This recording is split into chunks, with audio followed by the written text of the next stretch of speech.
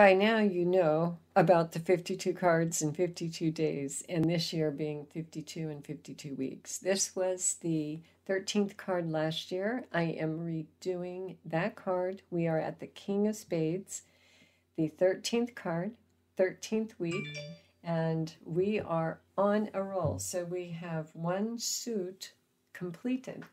The spades is done.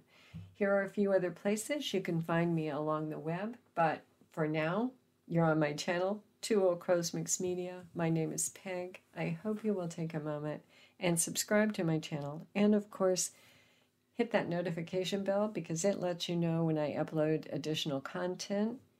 And those thumbs up really help the channel. So I appreciate those. Thank you very much.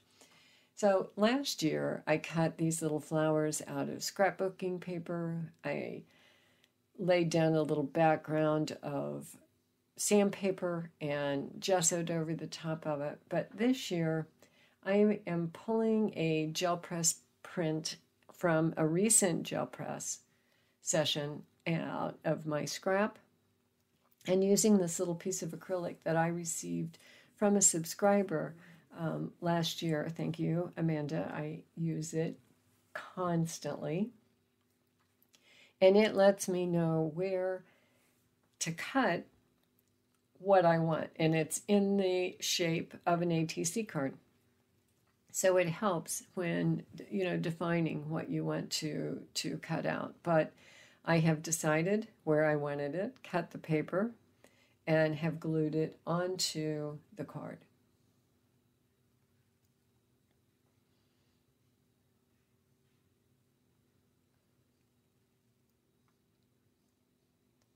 So we have our foundation in place, and this is going to be the foundation for what we're going to complete with the King of Spades. So I want to go around the outside edge with some uh, vintage photo.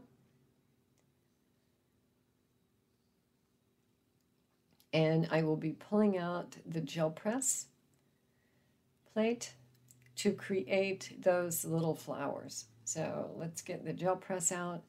I'm going to choose a couple colors. I'm using a quinacridone red and a bright gold.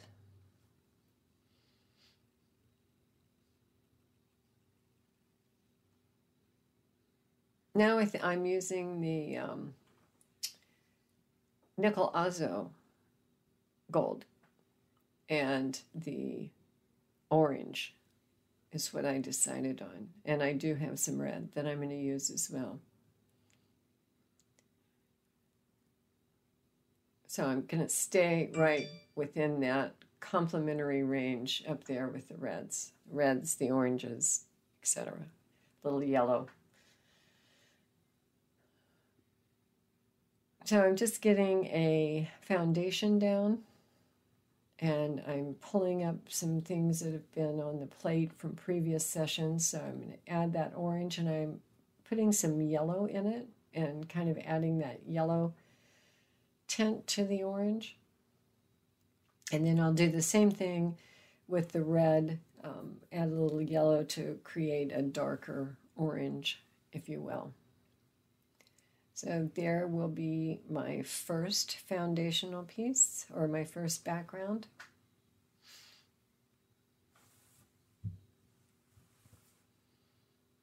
And there, that created some nice color. And we have one that I did that is just a little bit darker. And let's get some of this quinacridone red out. Add a little yellow to it. And create that darker orange.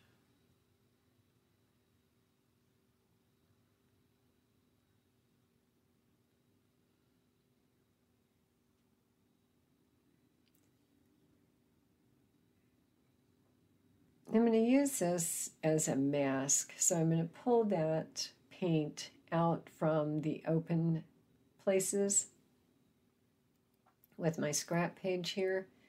And now I will put my background down and pick up what was underneath the stencil. So I think that turned out nice. Let's just do that once again.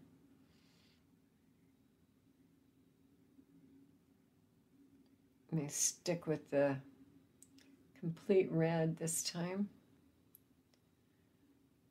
Get the paint out from the open areas in the stencil and let the stencil serve as a mask. And now pull this on the other background.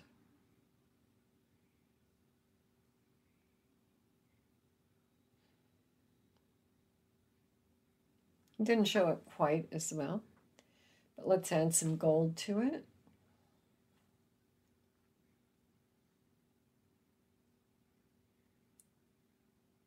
And we'll do the same thing. We'll pull the open areas with our scrap paper.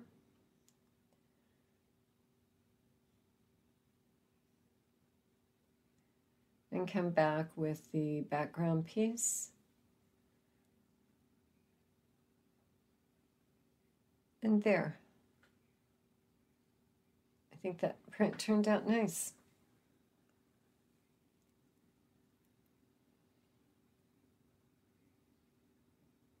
I'm going to darken that gold a little bit with some burnt umber.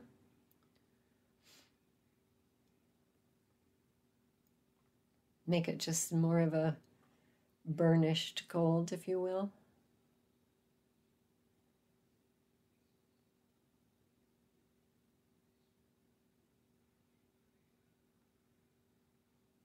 You'll be able to see the difference in the two when I pull this up because you can see the last one. See how much darker that is? I like that. Now we'll lay our other background down on this one. So there are the two pieces. And now I'm cutting a flower. So I have this flower stencil. I thought I would just draw around it with the white gel pen and doodle on the inside. I'm I'm into doodling right now, so that's kind of kind of my thing for the moment.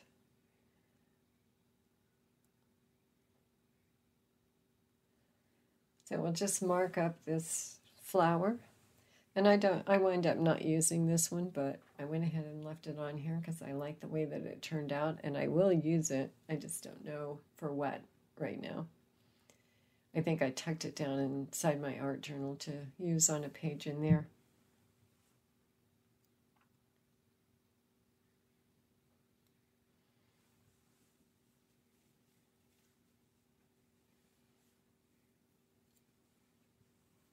So I'll cut that out.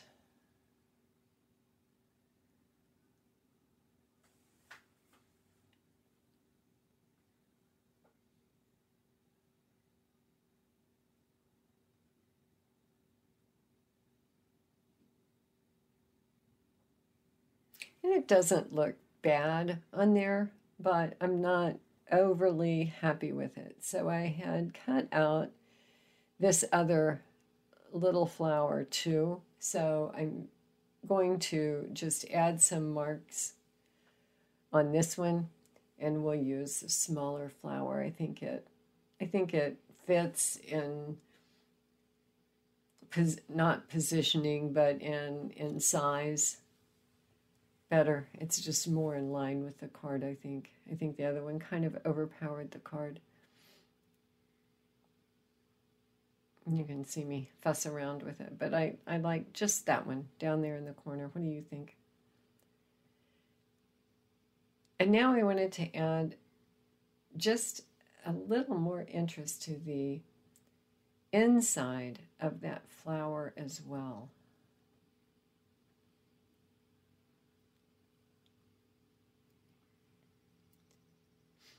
So I'm digging through my scraps and bits and pieces.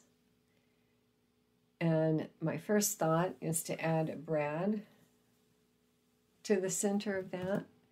So I'm poking a hole in the center of the card that I can position that brad through. And that is okay, but it doesn't really fire me up.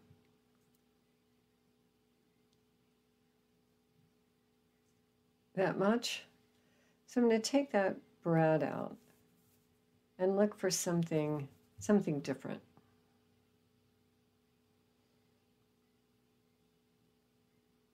Yeah, I just can't I, I just can't get excited about that brad. So I found this little piece of flower that I pulled off of a piece of lace. And I'm going to thread that through that hole and glue that into place on the back.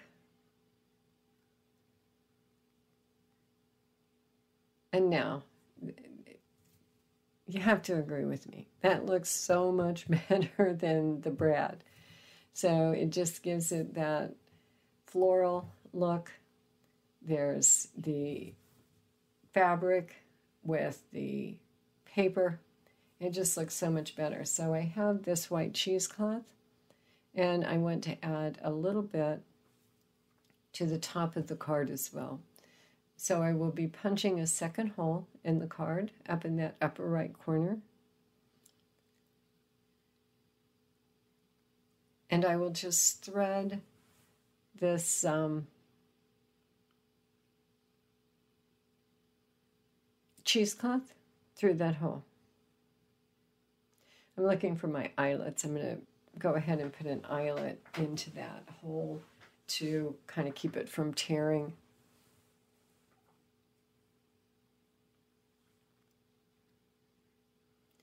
So there's the eyelet, and I will use my Crop-A-Dile to position that in place.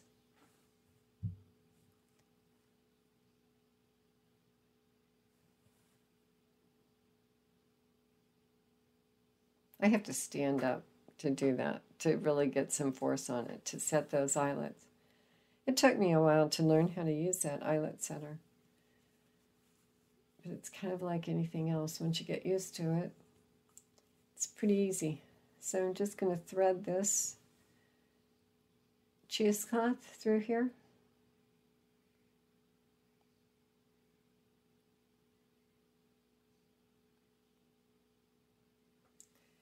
I'm going to fray that.